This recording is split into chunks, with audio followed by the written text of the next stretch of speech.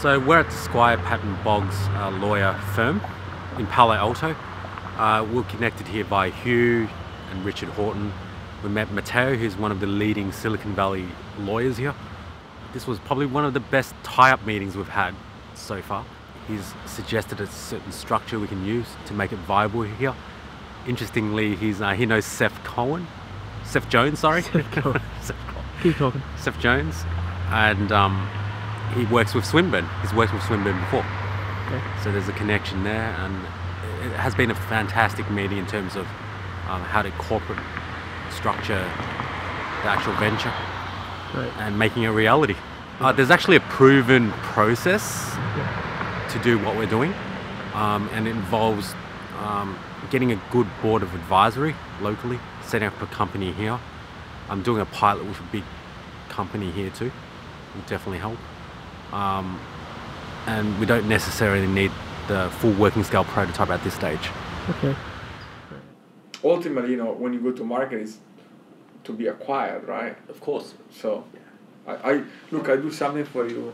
Okay. Video, Okay. taking, I sketch. All right. Okay. This is how, this is how I love this. I love this man. By the way. Awesome. This is how this is how I explain it to all the. You know, I work with a lot of foreign companies. So Okay. This is how Silicon Valley works. Okay. right? So startup cycle. This is time, and this is like uh you know revenue or uh, users or uh, some kind of metric. Okay. So Silicon Valley you've got a lot of big companies that are like fish. yeah, fish that swim Big fish. Yeah. good fish, not sharks. and and they they remain big by eating startups. Right? They innovate by eating startups. You think about you know even Facebook, you know, Hmm. ten year old company, Yeah. but it was born ten years ago and they were like this didn't exist. There was no smartphone, right? There Hmm. were laptops. If Facebook had remained the same as ten years ago, it wouldn't exist anymore. So in order to remain relevant, they've acquired, you know, WhatsApp. They've acquired a lot of technologies that make them relevant on, you know, smartphone. Mm. Same thing for all the other big companies. They acquire people and teams for their ideas and technologies to remain relevant and grow. The problem is that so they, they do it in an area they acquire startups that have some metric, right? Not not here, rarely here. Usually it's called the M&A zone. Companies that have proven some results, but they're not too big, otherwise they Right. become a fish themselves. Right. This is true. What's a, the, a normal company? A normal company, no, it's not fun, it's, it's real. So a normal company grows like this. Yeah. It takes a long time because it's your investment, it's your time, it's your, like you've been working this for four years. Page, no, no revenue, no, Mm. you know, own Mm. funds. The industry moves so quickly that by the time you, you, you arrive here, the fish is already is already here, right? So you never meet the fish. Hmm. So the goal is to grow like this, so that you know you're, you're at T zero here, you have a T one, where you meet the fish. So how do you do that, right? So this this delta here is the money you need to raise to, acc- that, huh? to accelerate the growth. You can injection of like steroids.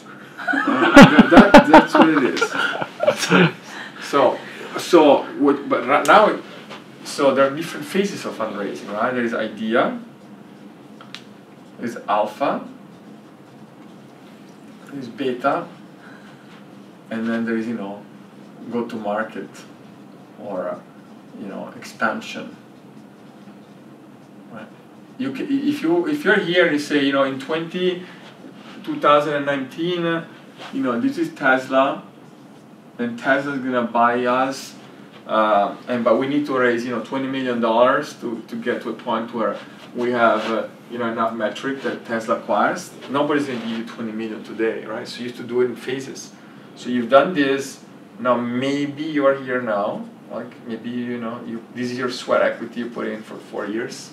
You have kind of a co- concept or prototype. Next phase is to okay. Then how do we get a beta? You know, how do we maybe get a prototype in production? You know, a real, not just a. It's a nice picture, but it's still a picture, right? And you Mhm. want to make it a real thing. In in an industry like yours, this phase here, usually you do a pilot pilot program w- with a partner. Right? It's difficult to raise money because it, yeah, at this at this point in time, the company is worth like this. At this point in time, nobody knows how much the company is worth. So you do a pilot with a partner, and then you know with the results of the pilot, you can go to VC and raise the expansion capital because at this point you know that the company is worth like this much, so you know you can give the VC like 25% for you know, 10 million and the company is worth 40 million let's say. Because wh- why can we say it's worth 40 million? Because maybe there's been a successful pilot with tesla about this technology. But today we can't tell. So the only way you go from from here to here this area here you need to have some kind of pilot. And then to how do you get this? You know you need to have people and IP. You have the You have IP.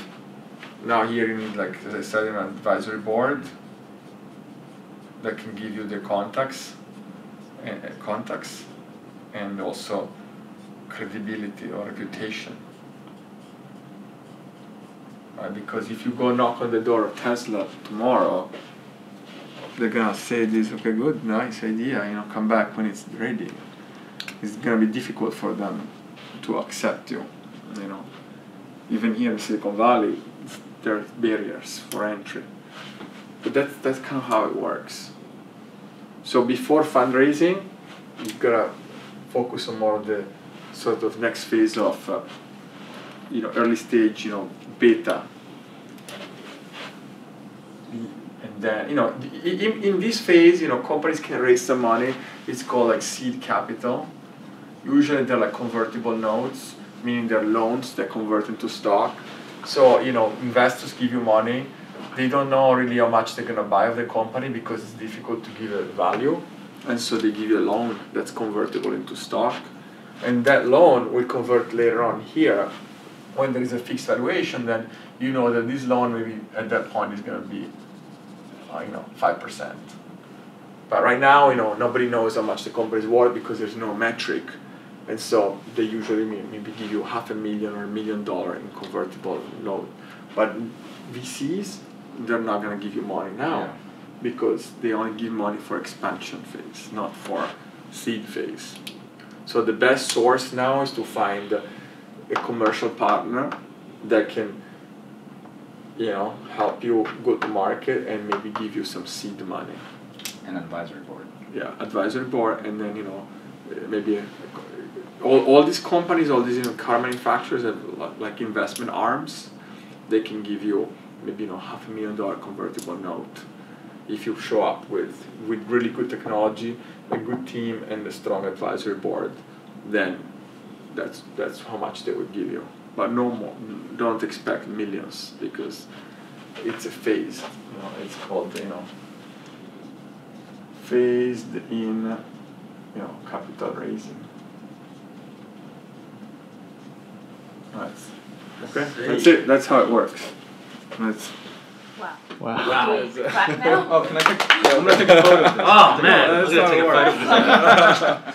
This guy knows what he's talking about, right? This guy, well you know I've been doing this for enough that uh, done I enough cannot times. sum, uh, summarize everything No, I in like the 10 fish. To tell you the truth, I like the fish. Because, You know, made it really clear. Like you basically filled in some of the gaps I was talking to Hugh about. Yeah. the, the pilot partner Yeah. is going to tell you Yeah, what they're they gonna want. tell you.